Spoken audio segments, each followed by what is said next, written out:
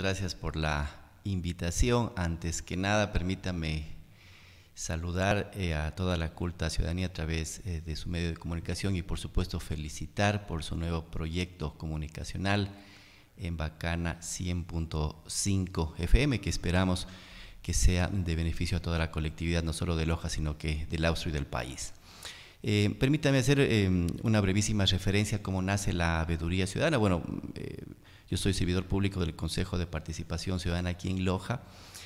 Y eh, eh, cuando sucede el confinamiento de la pandemia a nivel global, eh, los vehículos de movilidad alternativa como la bicicleta han tenido un auge espectacular, no solo en el Ecuador, sino que en el mundo. Las estadísticas nos dan cuenta que la bicicleta es el medio de transporte sostenible y sustentable que prima hoy en eh, el, globo terráqueo. ¿no?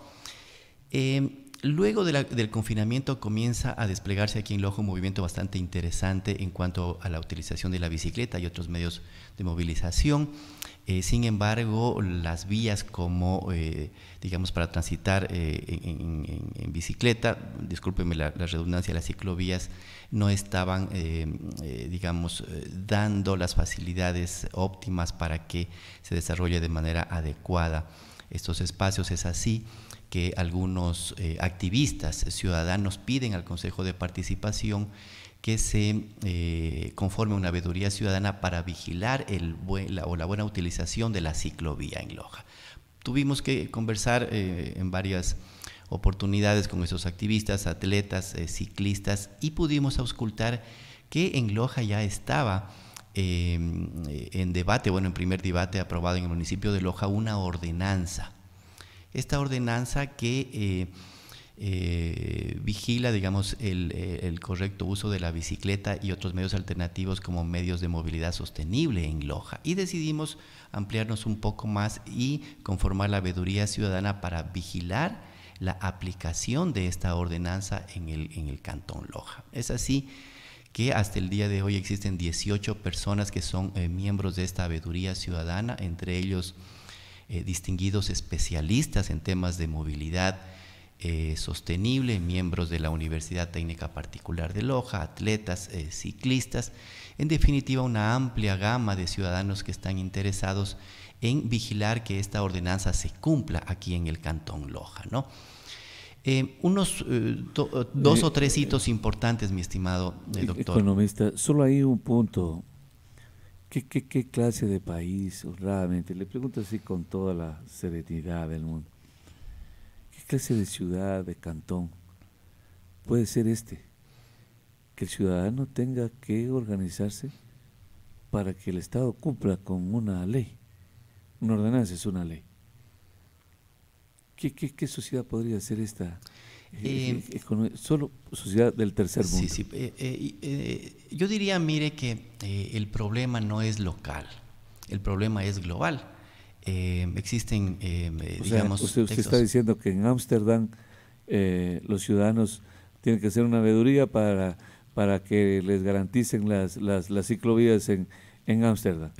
Mire, usted, mire usted que existen textos que nos, que nos dicen, ¿no? inclusive hay, hay, un último texto que no, un libro que no recuerdo en este momento del principal de Microsoft, que nos dice que el Estado a nivel global, ¿no es cierto?, de manera general está imbuido en, el, eh, la corrupción eh, y la obesidad y la ineficacia, el sector público trabajando simplemente por acumular capital y la ciudadanía está en el centro de estas dos corrientes, podemos decir así, que tiene que trabajar por sí sola para que la atienda el sector privado y el sector público, ¿no? Probablemente esto ha sucedido en Loja, no digo probablemente, sino que de, manera eh, segura en Loja y en el país está sucediendo esto, pero pensamos nosotros y yo estoy convencido de que es una eh, actividad eh, más que novedosa, es propicia para activar justamente lo que dice el artículo 204 de la Constitución, que el pueblo es el mandante y primer fiscalizador del poder público en uso de sus derechos de participación. Claro, no, pues lo más extraordinario es la participación de la ciudadanía. Eso es eh, concomitante a la democracia, ¿no? Está muy bien, es, muy lindo. Lo que estaba mal que nos parecía, creo, no sé, que el ciudadano tenga que organizarse para que el Estado cumpla la ley.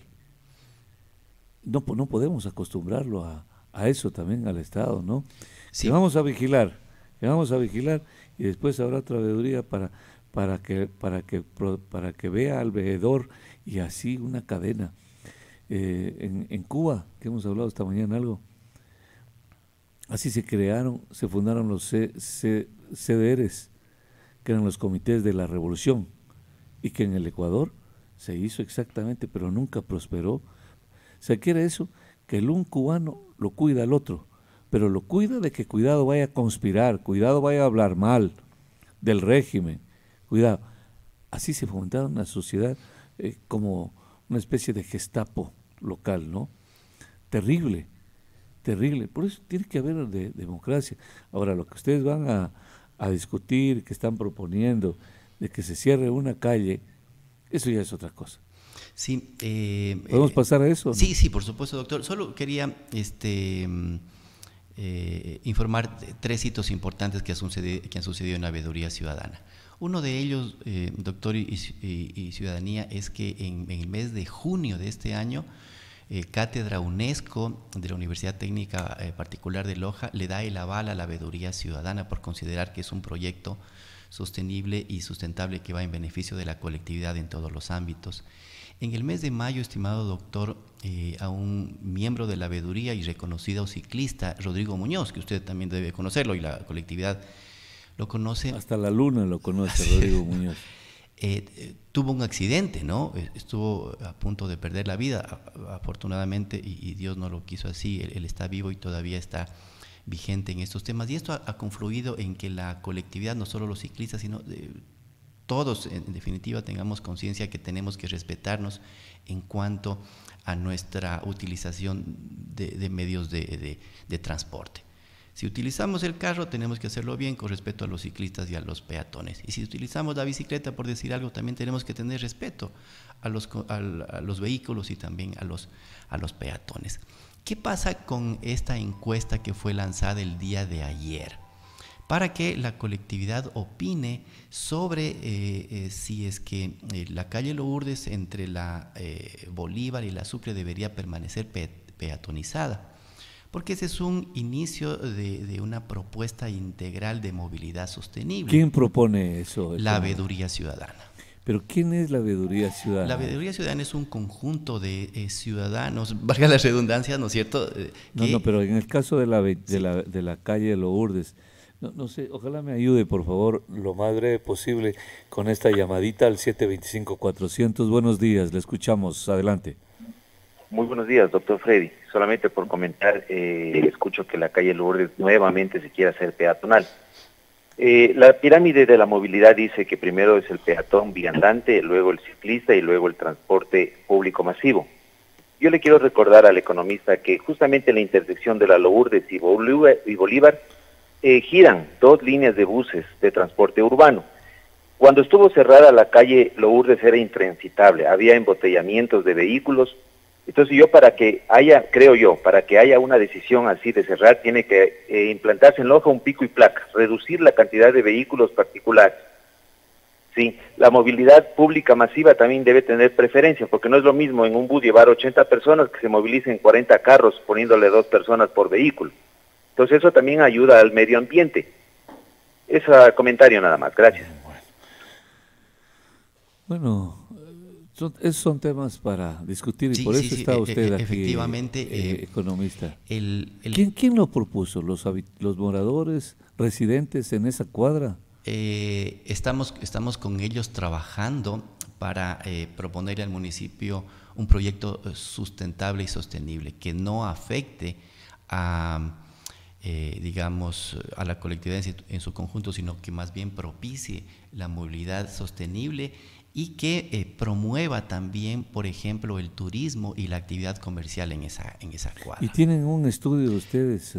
Hay estudios en la Universidad Técnica en el propio municipio, pero estamos tratando de incorporar una nueva, eh, eh, digamos, un plan ciudadano, ¿no es cierto? Que hemos empezado el día de ayer con lanzar una encuesta a nivel general en la que la ciudadanía opine si es que está de acuerdo o no con peatonizar esta calle de manera permanente. ¿Usted qué cree? Que sí.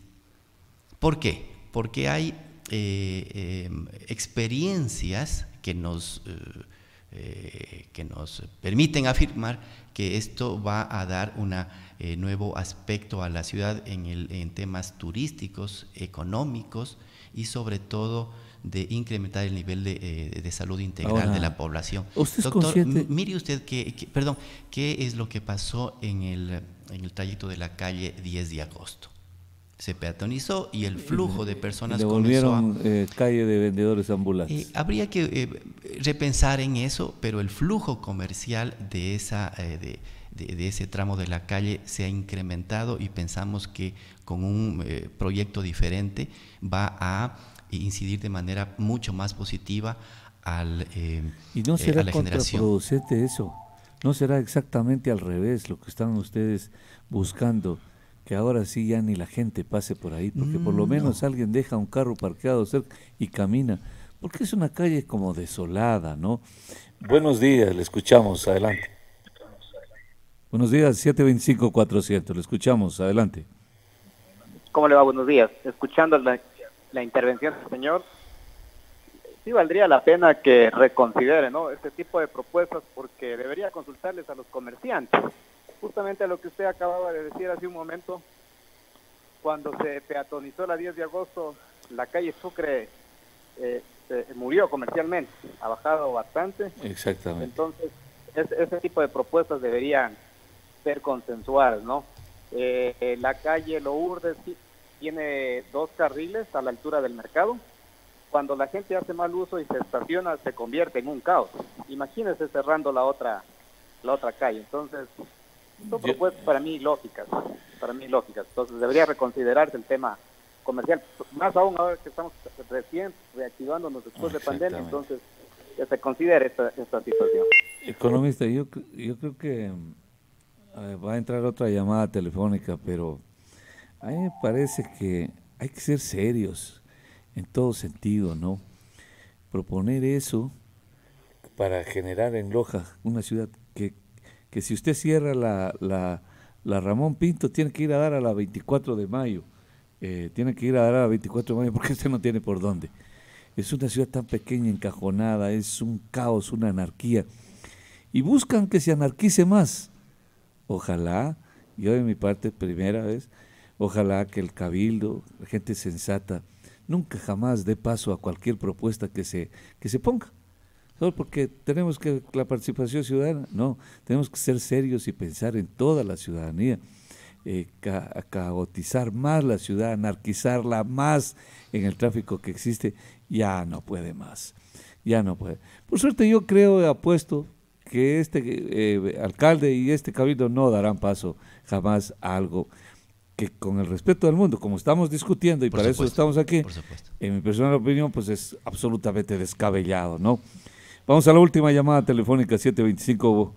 Eh, buenos días, le escuchamos. Adelante. Buen día, señor. Buenos días la ciudadanía, al panelista. Totalmente en desacuerdo con la actitud que tiene el Cabildo de cerrar las calles. Eso tiene que verse un termómetro de producción con los comerciantes y los usuarios. Tiene que verse este, socializado para ver los resultados. Son tan técnicos que si tienen resultados positivos y los concejales y el municipio de Loja para cerrar las calles. Entonces tiene que, de acuerdo a la producción de los comerciantes que han tenido, han sido positivos sus ventas, pues cerrando las calles, pues cierren desde el lunes al domingo. Pues. Eso sería lo, que ellos deberían pensar, que es productivo. Y otra cosa, la última situación, doctor, disculpe. Mire, eh, hacer, eh, eh, hacer ciudadanía, como control de ciudadanía, y, a lo mejor pues eh, las instituciones no funcionan, entonces los agentes de tránsito, ¿para qué está? ¿Para, ¿para qué las veedurías? Si estamos con una agencia de tránsito para que controle el, uso o el mal uso de las vías. Eso nomás, muy amable. Muy bien, no, no, es extraordinario, lástima que no nos queda mucho tiempo, veo que sigue queriendo entrar otra llamada ahí. Por favor, ahora sí, sí, ojalá cumplamos que sea la última llamada al 725-400. Buenos días, le escuchamos, adelante. buenos días. Eh, solo para hacer una acotación, es que hay que ponerse de parte de, la ciudadanía. Lo más importante en la ciudad son las personas, no los vehículos. Entonces, una buena ciudad es donde las personas conversan. Si cerramos la Lourdes, eh, ahí la gente va a conversar. Y si esto se va a activar, comercios, por ejemplo, galerías de arte, entre otras cosas. El vehículo es una máquina que puede ir a dar la vuelta. Y por último, dejamos el vehículo y caminamos. Pero es importante que la calle se cierre para recuperar espacio público para las personas y rezar un poco más al vehículo. Entonces hay que inclinar la balanza para donde, para donde se debe. Esa es la acotación. Muy bien, muy bien, es lo lindo, ¿no? ya tiene, ya tiene usted ahí una, una adhesión, me supongo. Pero fíjese, a veces, que yo, por ejemplo, quiero irlo a visitar a, estas bellezas de cuadros que tiene ahí Pablo Andrade.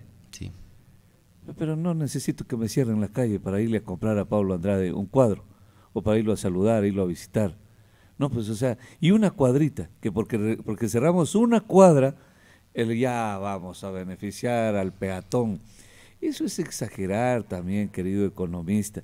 ¿Cómo puede imaginar que porque se cierra una cuadra se va a beneficiar al peatón? Una cuadra, una cuadra. Estamos hablando que cerramos manzanas, una es otra cosa, ¿no? Pero bueno, estamos aquí para discutirlo. por supuesto. Y ojalá, economista, que eh, con que participe la ciudadanía estamos bien. si la ciudadanía dice, sabes que no, sabes que sí, pues el cabildo finalmente tendrá la última palabra. Por, ahí va la cosa y, tenía que mm, aclarar el tema. A ver, eh, el día de ayer lanzamos a la colectividad una encuesta justamente para que opine sobre este particular, que va a ser una plataforma estadística de demostrar si es que está de acuerdo o no está de acuerdo eh, una buena parte, una, muestra importante estadísticamente hablando.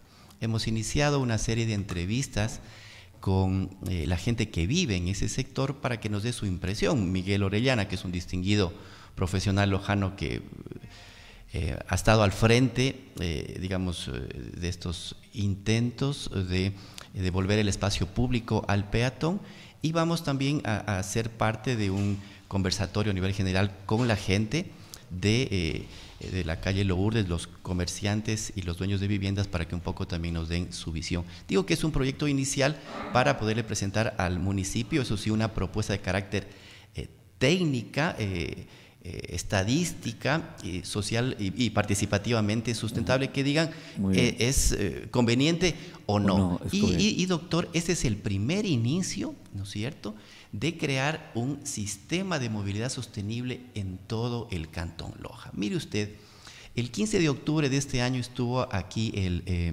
ministro de, Transporte con, todas sus, con toda su cartera. Eh, dando inicio a una serie de mesas de movilidad sostenible en el país y lo hizo aquí en Loja. Pudimos conversar con él y le expusimos el caso de la Universidad Técnica Particular de Loja, que en función del trabajo de la veeduría ciudadana ha decidido ser un laboratorio de movilidad sostenible. O sea, la Universidad Técnica se va a convertir en un laboratorio en donde se practiquen experimentos y puedan, eh, digamos, eh, ser eh, plausibles de ponerlos en práctica aquí en Loja. Lo que nosotros le pedimos al, ministro es que se adhiera a la cartera del, de Estado y el gobierno para que Loja se convierta en un laboratorio de movilidad sostenible. No estamos aquí en el plano de imponer, ¿no es cierto? Que se cierren calles, que se pongan ciclovías, sino que de conversar de que la participación ciudadana promueva, ¿no es cierto?, nuevos espacios sobre debatir en torno al beneficio colectivo de la ciudadanía. En nuestro caso, de que se eh, experimente sobre nuevos sistemas de movilidad y pensamos que el peatón y los ciclistas tienen que tener prioridad en Loja y en el Muy país. Bien. Vea usted el domingo, cierran todo el centro de, del casco central de Loja. Pregúntele al alcalde del municipio si están en cumplimiento de una ordenanza. Por supuesto, de esta ordenanza que estamos vigilando nosotros. Y pregúntele si ha habido réditos. Sí es cierto que... Eh, falta falta coordinación de los estamentos públicos y privados. Exacto, por eso todo lo tenemos. Vengan ustedes, queridos amigos, amigas, vengan un domingo y van a ver que todo el, el municipio, estos alrededores, está cerrado. Nadie puede pasar en un carro. Pero ¿sabe qué, doctor? Es, bueno que, los carros ya no pasen por ahí porque estamos descontaminando el ambiente y pero, estamos pero dando fíjese, mayor, pero, pero eh, espacio Los que lo contaminamos al ambiente porque los carros no pasan una cuadra. qué barbaridad es, economista, de todas maneras tiene que eh, ayudarnos, usted tiene que liderar. Por supuesto. No, no descontaminamos el ambiente porque los carros no pasan una sola cuadra. Es increíble. Lo que decía el amigo que, propuso que el, pico y placa, eso podría ser porque estamos hablando de todo un universo de vehículos, pero no porque cierran aquí al frente, aquí cierran a la Colón y Bolívar cierran y ya aire puro aire puro, mejor que en el Podocarpus, vengan ustedes, cuando no se vayan al Podocarpus, vengan aquí aire puro, porque no pasan los vehículos. Y total, apenas viene un amigo, un compadre, le quitan enseguida los, los, los conos esos y todo el mundo entra al, centro. Vengan para que vean ustedes y observen cómo es el manejo, los mismos carros municipales, del ejército, de la policía, todos andan, menos los, los vehículos de los ciudadanos. Este es el país del tercer mundo. Yo observo, yo paso aquí el domingo, yo aquí de conserjería, aquí paso el domingo. Lo que nunca sabía lo que ocurría en el centro, ahora sé todo lo, lo, lo, lo que ocurre. Y entonces ya va, ya va a ver usted la, la, situación que, estamos viviendo. Gracias, economista, pero le agradezco de verdad. No, no, y, este, le deseo lo mejor en esta, y, más bien le pido que sigamos conversando sobre este tema, que, veces es importantísimo y vamos a ir viendo los resultados, esperamos nosotros que de manera positiva. Gracias,